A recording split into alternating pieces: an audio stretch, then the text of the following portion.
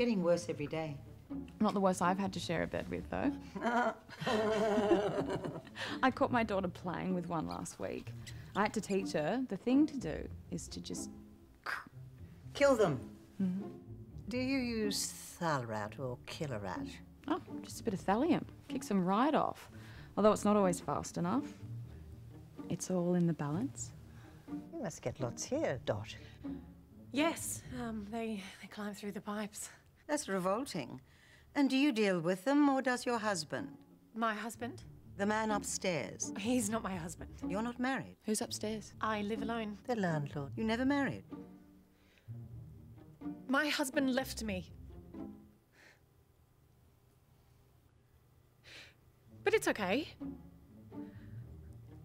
I, I work for Mr. Baker. He lives upstairs and he lets me live downstairs. It's fine. It's very good.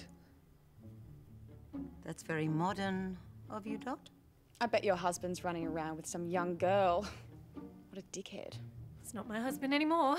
If mine ever did that to me, I'd.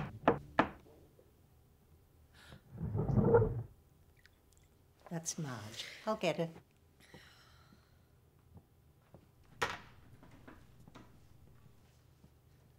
Ladies, what have I missed?